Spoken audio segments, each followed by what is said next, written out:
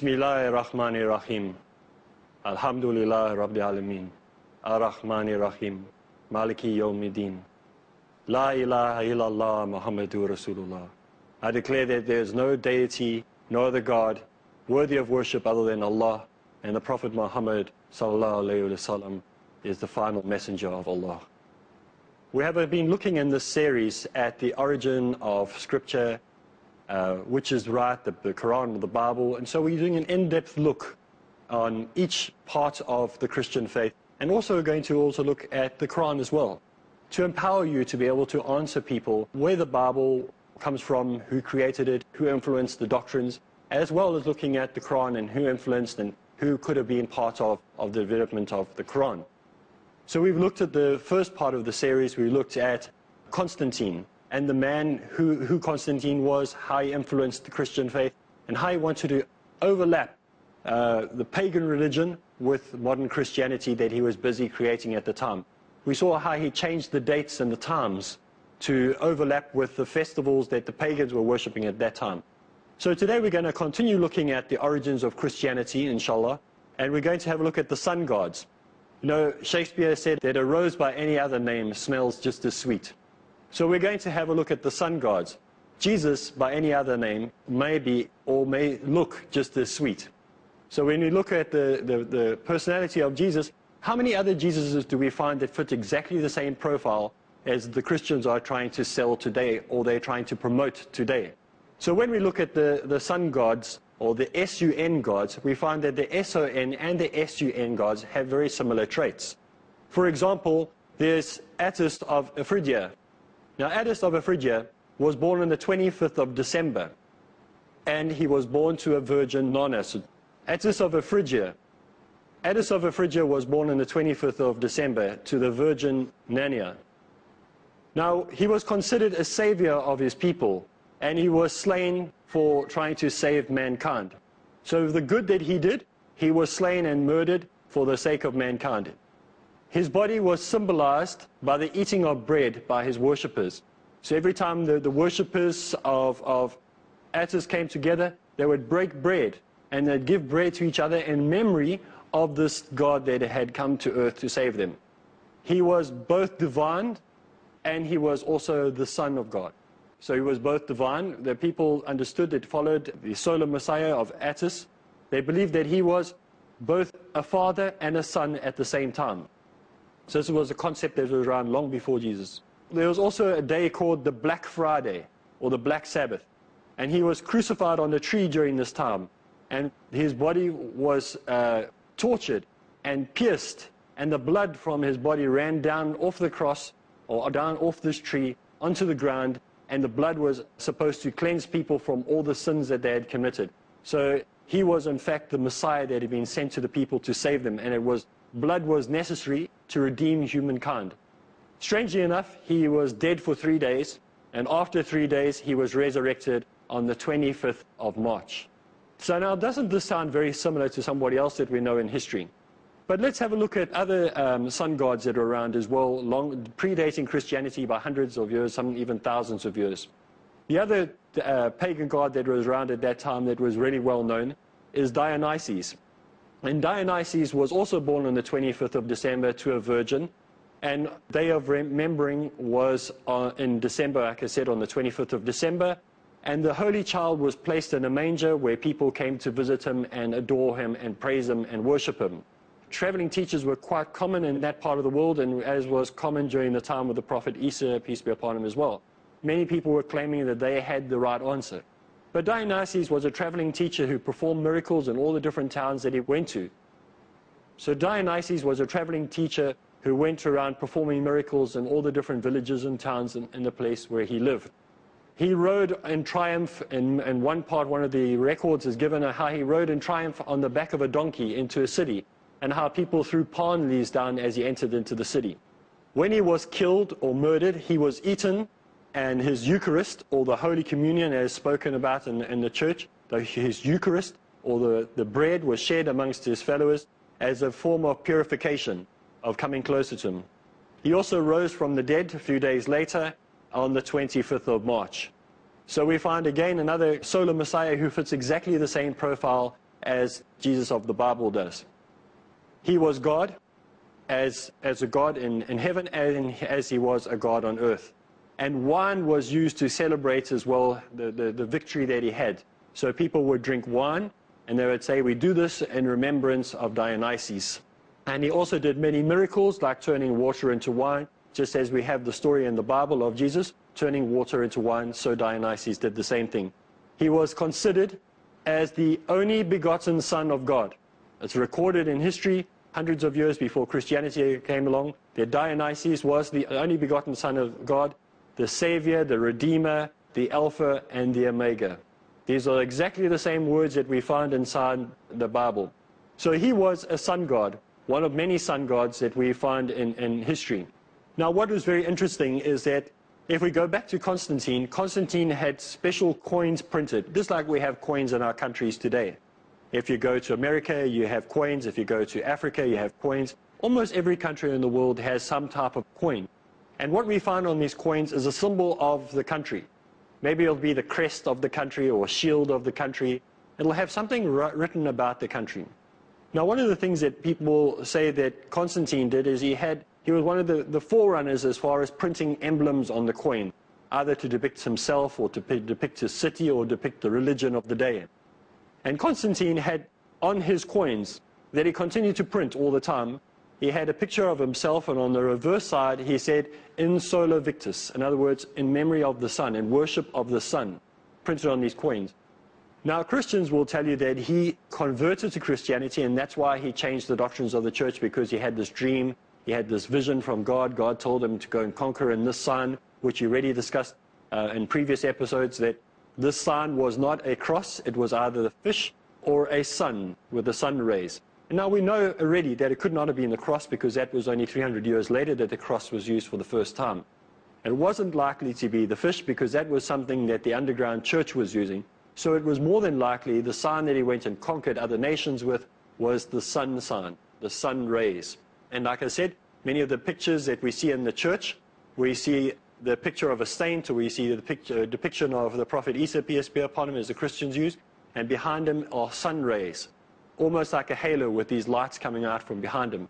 If you look at any picture, you can go on the internet, you can look at pictures and books, you'll always see Christian depictions of any of the saints with the sun behind it. And this was by Constantine's clever and uh, clever workings to put the sun, the SUN and the SON over each other and overlap them. So people would actually be worshipping the SUN, the sun. Now, these coins that Constantine had, surely if he became a Christian and he had turned away from sun worship and he had changed religion and his faith and found that Christian, the Christian God of the Bible was the right God to, to follow, surely he would have changed his coins and said, instead of the worship of the SUN, to the worship of the SON. But he never did that. So we can still find these coins today. We have architectural evidence where we can find these coins and see that these coins have not been altered in any way whatsoever. So there are some people that say that just before he died, he ordered his white garments to be put on himself and he asked to be baptized under the Christian God. Now, what was he going to be baptized under the Christian God for? Even if we give it to the Christians and say, fine, he did in fact get baptized, what was he baptized into? He was baptized into the Trinity, which goes along with what his previous worship was before anyway, believing in three gods as one. So he would have been baptized in the name of the Father, in the name of the S-U-N and the S-O-N and the Spirit. So he would have been baptized under the Trinity, which is what he was used to doing anyway in his previous religion. So he didn't really get baptized or have to change anything about his religion. He was still following exactly the same pagan worship that he had followed all the way along. Baptism, by the way, was nothing unique either to Christianity. Many of the other pagan gods required exactly the same thing. So baptism is not a, something that is unique to Christianity. But if we look at Christianity, we see that there are many Mary and Jesus figurines in pre, pre-Christian uh, history as well. Now, please do not get me wrong. The Quran talks about the Blessed Mother of Jesus, the Prophet Isa, peace be upon him, as being a woman who was chaste. And I believe without a doubt that, that Mary, the mother of, of Jesus, peace be upon her, and may, the blessings of Allah be with her, that she was indeed a woman called aside. But there are many stories in history where we see, for example, the Indian goddess um, having an in infant god, or we see the um, Babylonian god with little child in arm, or the Roman god with little child. or we see the Egyptian god with a little child in hand, they don't in no ways agree with what we say in the, in the Quran. You see, these, these women were chaste women, but they, no way are they specifically mentioned to be virgins. Okay, and also the way that Mary is, uh, conceives um, in the Bible as opposed to the Quran, there's a different narration. It seems to be the same in many ways, but it is different. So there are many uh, historical figures throughout history where we see that there's a mother and child, mother and child. And when we think of Christianity, often we have these pictures of somebody holding a, a woman holding a baby, maybe looking up into the sky or whatever with this little baby. And these are figures that are almost identical. If you overlap the pictures that Christians have of Mary and, and Jesus, and you overlap the pictures of Egyptian gods and the Hindu gods, all of them together, and you see them overlapping each other, they almost look identical. The figurines almost look exactly the same. So again, the Christians didn't have to go very far to look for it. Now, Christians claim that the, the Bible is the Holy Bible. And I have in front of me here a Bible. And I'll just show you the cover. It says here, the Bible, or the Good News Bible. Some of them say the Holy Bible. But this one just says the Bible. And so the, the word Bible, where is this word derived from? So we're now going to take a short break, and when we come back, we're going to look at the biblical linguistic origins of the Bible. Assalamu alaikum and welcome back. We are now looking at the Bible and the linguistic origins of the Bible. In other words, where does this word Bible come from? Now, in previous episodes, or in the previous episode, I spoke a little bit about the Bible, but we didn't really go into deep uh, detail about where this word Bible comes from or where it was derived from. Now, Christians claim that the, the Bible is the Holy Bible. And I have in front of me here a Bible. And I'll just show you the cover. It says here the Bible, or the Good News Bible. Some of them say the Holy Bible. But this one just says the Bible. And so the, the word Bible, where is this word derived from? It is derived from an Anglo-Latin phrase which means biblio. B-R-B-L R-A, Biblia or Biblio. And so this word is traced from the same words through uh, medieval languages like medieval Latin. It has, it's derived from uh, many different sources, not just one source. And so the word uh, Biblio Sacra or Sacra means uh, Holy Bible. But we find that this word Holy Bible is derived from other root words, not actually from the text itself. You won't pick up the New Testament or the Old Testament and see it calling itself the Holy Bible or see it calling itself the Holy Bible. What you find is it's derived from Greek words, it's derived from Latin words, it's derived from Anglo-Latin phrases, but it hasn't really got its origins in any scripture or anything like that. What is also very interesting to note is that the expression the Bible is also used to describe many, many other books. It's not a book, a phrase that is used only to describe the Bible that Christians use today. Pre, it predates Christianity by hundreds of years. It was used to describe many other manu manuscripts, many other writings. It, all it basically means is a collection of writings, holy writings. So the uh, Hare Krishnas, for example, the Krishna consciousness movement, they have the Bhagavad Gita, or the way it is, they could call that the Holy Bible. The Hindus, Vedas, they could also call that the Holy Bible. In fact, the Book of Mormon, which is another book I, I have here, which is a book written by the Mormon Church, is also the Holy Bible. And so the Anton LaVey's uh, satanic verses are also the Holy Bible. So any collection of holy writings you can call the Holy Bible. So Bible is just a, a, very vague word which means a collection of writings or a collection of books. So it's nothing that is unique to Christianity. The Bible does not identify itself as the Word of God. So you won't find the Bible saying, this is the Word of God, because some people, some Christians especially, claim that the word Bible means Word of God. Well, it doesn't. The Bible, like I said before, it could mean the Word of God. You, it can be in that sense, but it's not strictly that sense. See, the Bible is not found in any of the books of the Bible saying, I am, this is who I am, listen, I am the Bible, here I am, or I am the Word of God. It doesn't identify itself. This is a label that was given later. Very similar to the word Hinduism.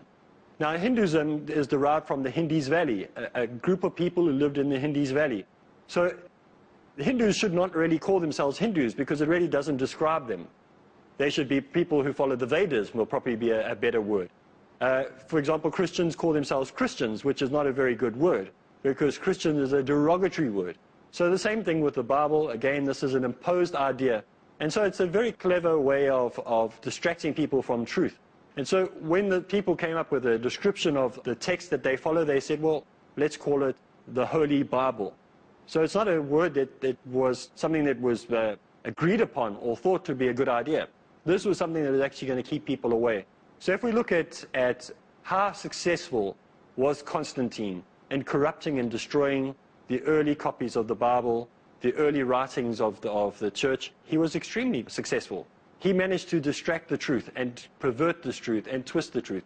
You must remember that Constantine, who we've spoken about before, also decided what books would be in the Bible. So many of the books that were very, very interesting, were very good, that could have helped mankind, that were there to, to um, guide us on the straight path, that spoke about things that were going to be happening in the future, we were purposely left out. And we're going to look at how much percent of the original documents that were around at that time were included in the Bible and how much was thrown out and why they were thrown out. So let's have a look quickly at a short history of, say, this, the, the, the, uh, the, the Bible itself. The stories evolved before the existence of Orthodox religion. So the stories that are included in the Bible, they, they evolved before Orthodox religion was put together. So before people could say, I'm a, a Christian, or this is the, this is the group of, uh, of, of scholars that have put together this collection of writing, stories were already floating around. So they weren't always transcribed or written down immediately after the event took place. Many of the events took place 100, 3, 4, 5, even 1,000 years, and then only was it transcribed into a written text.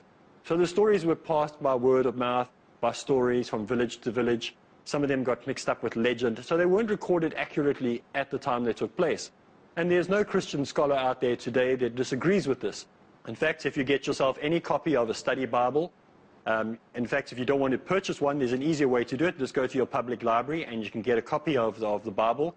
Have a look at the study Bible and look at the introduction. It will say It'll have a, a, basic writing by one of the Christian scholars or a group of Christian scholars, and they will tell you that these stories were, were passed word of mouth for hundreds of years before they're actually written down into a text form. And so these are a collection of writings of different teachings around at that time. Now, the common idea of the way the Bible was put together, if we give a short history of it, is that these manuscripts were found at different places, at different towns and different villages. Some of them were found all in one spot. Some of them were found in caves. Some of them were found buried under the ground. Some of them were found in people's homes. And all these, these texts were brought together. So let's just take a book randomly. Uh, let's start with the first book of Genesis. There wasn't just one copy of the book of Genesis. There were hundreds of copies. Sometimes, in some of the books, there were thousands of tens of thousands of these documents found. And what they would, the, the scholars would do is they'd look at what was common, and they'd put what was common to all these texts together. And that's what made up the book. So many of the chapters and verses and and pieces that were actually belonging to the book of Genesis are no longer included. They were decided upon and said, well, these are not relevant, so let's throw these out. Shouldn't we have the entire text the way it is so we can make up our own minds and, and see whether this should be followed or not? But it was selected for us, so the decision was made for us. Now, the Christians will argue, and they will say that these texts that were chosen for you are, are texts that are divinely inspired to be there. God preserved these texts. God preserved these words from any corruption, from any deceit. Okay, so let's say, let's give that to the Christian and say, fine, the book of Genesis, the way you have it now, is exactly the way that God wanted it to be revealed to us. Then how come we have had so many, over 2,000 recorrections or revised version or changes in the book of Genesis? If it was revealed at that time to the scholars the way it was supposed to be, and it was the perfect word of God, how can it be changed 2,000 times? How come in certain books like the Revised Standard Version, they're going through version 17 of the Revised Standard Version? How many more Revised Standard Versions do you have to have? I have in front of me here on the table the, the Millennium Bible. Now if I had to ask you a general question, and we're going to go through this again in future episodes, how many books are there in the Bible? And if there was an SMS facility, I would actually like to see how many people would send a short message to me on how many books there are in the Bible, from Genesis to Revelations. There's a book over here which is the first recognized official Bible. This is the King James Version. In the King James Version, if I open up the King James Version, it will tell me in the front index there are in fact 66 books of the Bible. However, If I go to the millennium version of the Bible, the one that has just been released in, during the millennium, so that means in the last uh, eight, ten years it's been released. If I open it up, I find there are 82 books in this Bible.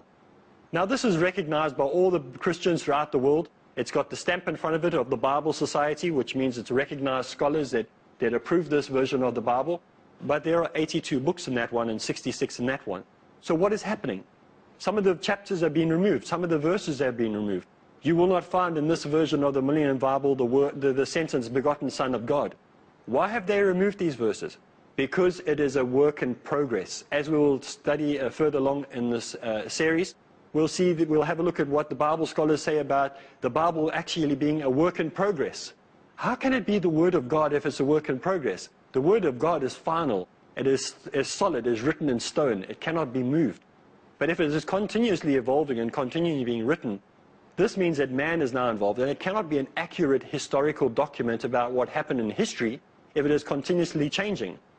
You see, if we talk about the history of Adolf Hitler, we know exactly what happened. The history is written, it is done, it is complete. It cannot continuously being evolved and people adding new stories all the time about who Adolf Hitler was and what he did back then. We know what he was and what he did back then. If we're continuously writing his history, then we're actually surmising or guessing, and we do not really know what happened. So as a historical document, we find that the Bible has some serious errors. So as we look at the many stories that are derived inside the Bible, we find that many of these stories actually come from Egyptian or Sumerian culture.